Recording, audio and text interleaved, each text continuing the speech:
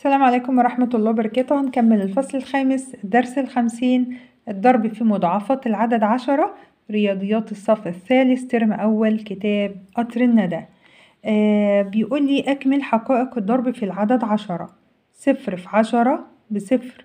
واحد في عشرة بعشرة. اتنين في عشرة بعشرين. تلاتة في عشرة بتلاتين. أربعة في عشرة بأربعين. إحنا اللي هنكمل.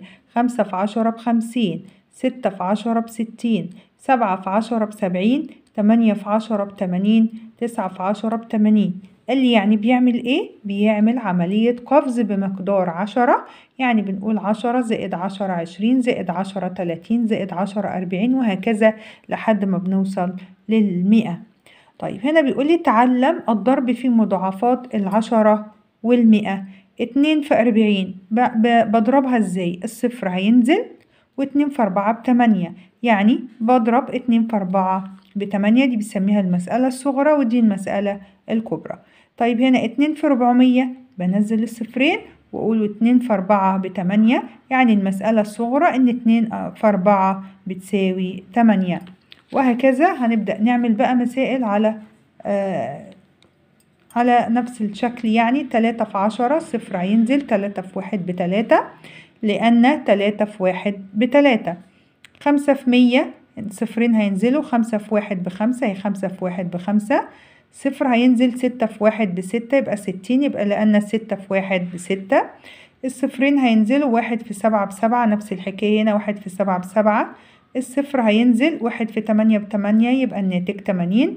الصفرين هينزلوا واحد في تسعة بتسعة يبقى الناتج عندي تسعمية. صفرين هينزلوا أربعة في واحد بأربعة يبقى الناتج عندي ربعمية وهكذا. هنا بضرب الرقمين من غير الأصفار. اتنين في عشرة صفر هينزل اتنين في واحد باتنين يبقى الناتج عندي عشرين. تلاتة في مية تلتمية. واحد في مية بمية. تسعة في عشرة بتسعين تمانية في مية بتمنمية سبعة في عشرة بسبعين. لو هو صفر هينزل صفر واضرب الرقم في الواحد.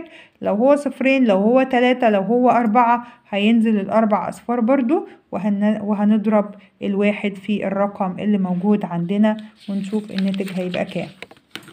سهلة جدا طبعا الضرب في عشرة مفيهاش أي مشكلة. طيب لو عندي هنا تلاتة في تمانين بعمل إيه؟ نفس الحكاية الصفر بينزل وأضرب تلاتة في تمانية بأربعة وعشرين يبقى الناتج عندي كله ميتين وأربعين. طب المسألة الصغيرة من المسألة الكبيرة دي كام؟ أقول له تلاتة في تمانية من غير الأصفار. تلاتة في تمانية بأربعة وعشرين. طب هنا تلتمية في تمانية أقول له صفرين هينزلوا. تلاتة في تمانية بأربعة وعشرين. طب المسألة الصغيرة إيه؟ إن التلاتة في تمانية بأربعة وعشرين. مديني مسائل وعايز نحلها بنفس الطريقة. الصفر هينزل. أربعة في تمانية باتنين وتلاتين. طب المسألة الصغيرة من دي إيه؟ إن أربعة في تمانية باتنين وتلاتين لكن أربعين في تمانية بتلتمية وعشرين. طب الصفر هينزل خمسة في سبعة بخمسة وتلاتين يبقى الناتج عندي تلتمية وخمسين. طب المسألة الصغيرة بتاعتها إيه؟ اللي هي الخمسة في سبعة بخمسة وتلاتين. طيب هنا الصفر هينزل تلاتة في تسعة بسبعة وعشرين يبقى الناتج عندي ميتين وسبعين. طب المسألة الصغيرة إيه؟ إن التلاتة في تسعة بسبعة وعشرين. الصفر هينزل تمانية في سبعة بستة وخمسين يبقى خمسمية وستين الناتج بتاعي يبقى تمانية في سبعة بستة وخمسين.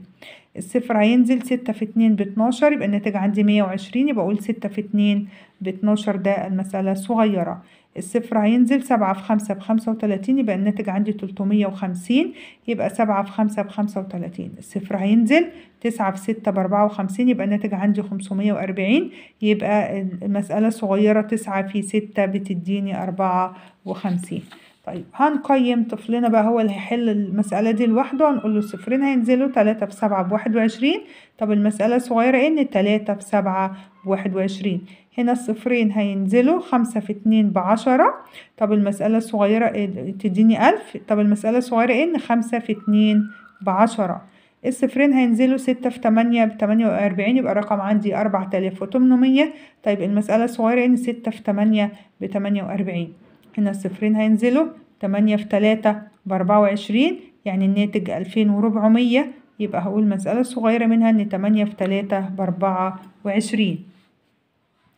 تريد أسماء عمل برواز من الخشب لصورة طولها اتنين متر وعرضها واحد متر كم متر من الخشب يلزم لعمل البرواز؟ هنا عندي اتنين متر وهنا واحد متر طوله عدد أمتار اللازمة لعمل البرواز اتنين في واحد باتنين متر. طيب احسب محيط ومساحة ومساحة كل من المستطيلين المظللين واكتب ملاحظاتك. هنا هقول أعد الطول في العرض واحد اتنين تلاتة أربعة هنا واحد اتنين. المساحة بتاعتي اتنين في أربعة بتمانية. طيب المحيط إيه؟ المحيط عندي أربعة زائد اتنين زائد أربعة زائد اتنين بتديني اتناشر. طيب هنا ال ال الشكل التاني المستطيل التاني نقول اتنين وهنا أربعة يبقى المساحة بتاعتي اتنين في أربعة بتمانية. طيب المحيط بتاعي إيه؟ اتنين زائد أربعة زائد اتنين زائد أربعة هيديني اتناشر. اللي لاحظته؟ لاحظت أن المستطيلين متساويين في المساحة والمحيط ودي ليست قاعدة يعني حسب ما بتطلع لنا يعني. كده خلصنا الفصل الخامس فاضل الفصل السادس ضرب في مضاعفات العدد عشرة. يعني هنكمل العشرة. أكيد جايب لي فيها مسائل كبيرة شوية. وبعد كده استراتيجيات الضرب في تسعة. استراتيجيات الضرب في تسعة.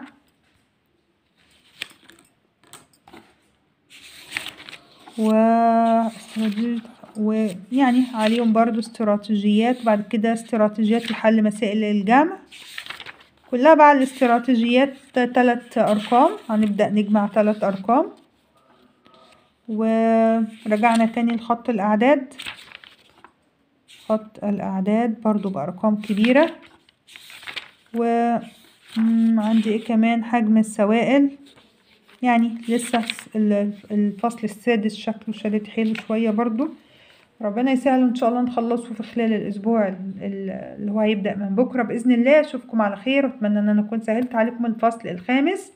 وأتمنى إن أي حد هو بيذاكر لابنه من الفيديوهات بتاعتي لا أي غلطة في فيديو أي مسألة مثلا حلتها بالسهو غلط أو أي سؤال عايزين تسألوا فيه أنا بقرأ كل التعليقات الموجودة على الفيديو سواء كانت على اليوتيوب أو في الصفحات على الفيسبوك. يا ريت تكتبوا لي في التعليقات وأنا هرد عليكم إن شاء الله ونصلحها مع بعض. بشكركم جدا. السلام عليكم ورحمة الله وبركاته.